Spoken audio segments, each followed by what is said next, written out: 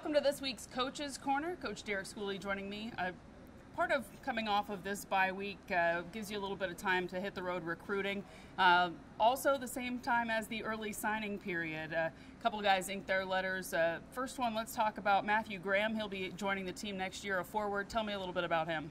Well, I think one of the things that uh, you do during off weeks is you get, get you a chance to get on the road. I was out on the road. Mark and uh, Cody were also out on the road, so it was a chance to see a lot of our guys and see some of our commits play and, and play and see some other kids. And you know, also during the National Letter of Intent time, we got a chance to sign some quality individuals that we think will help the Colonials. And as you mentioned, uh, Matthew Graham there, he's a, a scoring uh, threat. He plays in Langley in the British Columbia Hockey League. He's uh, uh competes really hard, a really good kid, um, and he has a high ho hockey IQ, which is something that uh, yeah, you want to make sure you have as far as uh, knowing where to go in the systems. And he knows to get, get around the rink. He's played a lot of junior hockey and uh, we're excited to have uh, Matthew on our team.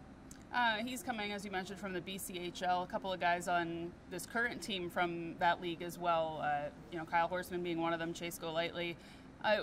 What do you guys get to see? And I mean, that's quite a trek out there to the to the BC. But what do you see out of that league that uh, has been attractive with these players? Well, we've had a lot of kids that have come through our program from BC. Starting Brock Meadows was uh, a very early one. Scott Jacklin, Jeff Jones, very offensive league, and it's a league that uh, really prepares the players for college hockey, and it's it's known as one of the, the top three or four leagues in in uh, all of uh, North America. And um, really uh, get some good hockey players out of there. And it's hard to get out there. It's so far away, but we get out there. We've been out there twice already, and and uh, we've got uh, a good list of guys that uh, come from that league, and the guys that have been here have had a lot of success.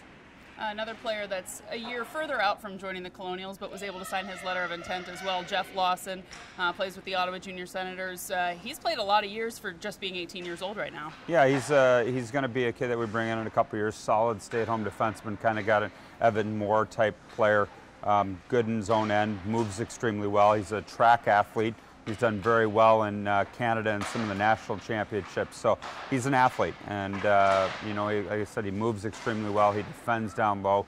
Another really good kid, competes extremely hard, and really will bring kind of a work ethic-based game to, to Robert Morris. And um, he's expanding his offense a little bit too, and uh, he's playing in the Eastern Canada Challenge right now as we speak, and um, he's done a very good job this year for a very good hockey team in the Ottawa Junior Senators, which is coached by Chris Kushnerick, and uh, uh, that's where uh, Ben Robillard came from. So we're excited about uh, uh, Geoff joining our program as well.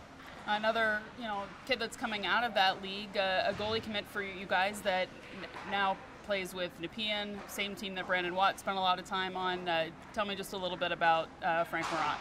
Well, Francis is a, a, big goalie. He's 6'1", but he takes up a lot of space in net. And Cody Van Rentergem, who's done a tremendous job with our, our goalies, and um, you know, had a, a, hand in Dalton, picking Dalton Izyk via video when he was our hockey ops guy, and uh, you know, got a chance to to see Frankie out play uh, a couple times over the past uh, few weeks, and really likes what he brings to the table. He's solid. He's positional. Um, he takes up a lot of net.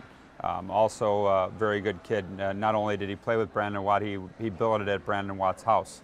So it's uh, it was an easy uh, uh, combination, and uh, he had a lot of information about Robert Morrison. And once again, with uh, graduating both Terry and Dalton the following year, um, we feel bringing Francis in will be a, a, very good addition to our program, especially returning Dalton and Andrew Pickle, who and gives us three very good goaltenders again. now you come off the bye week, guys hit the road this weekend to, to take on Army. What do you guys kind of need to do? Got some fresh bodies now. What needs to happen this weekend? Well, Army's, uh, we've had some really good battles with Army. Um, I think we've never uh, uh, got four points out there. Um, they've always been uh, hard fought, high compete level games. Uh, Army took us to three games the one year and we're up one nothing halfway through the game at uh, the year that we went to the NCAA tournament in an elimination game and uh, they've got very good goaltending.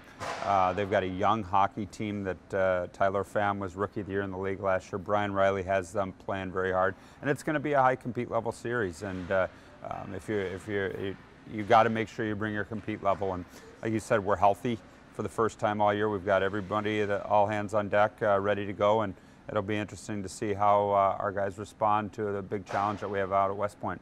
you mentioned having everybody healthy. Ben Robillard are we going to see him this weekend? Is he going to find his way into the lineup or still working on that? Well, Ben's uh, been cleared to uh, resume contact, and we're excited to see Ben back in the lineup. It's been almost a year since uh, he hasn't been healthy for a while, and to have uh, uh, his, uh, hip surgery and a hernia surgery all in the last year is, is a tremendous, shows a tremendous amount of character to continue to come back from that. And Ben's practiced very well. Um, now we got to see him a little bit in contact and see how he'll handle things in traffic and because he hasn't been able to be hit. Now uh, we're going to be able to see that. So we're excited to see how Ben progresses as far as contact goes. And, and uh, as always, we'll make the lineup decisions as the week goes on here in practice. And we've got a very deep forward group. We've got a very deep defense group, and they make uh, challenging decisions for the coaching staff. And that's the way you want it. You don't want it to be easy. And um, Ben adds to that uh, group, but uh, like I said, it's, it's a challenge. And um, challenge to make sure that once you get in, if you're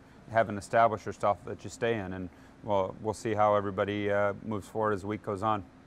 Coach, sounds great. Uh, best of luck this weekend at Army. Thank you.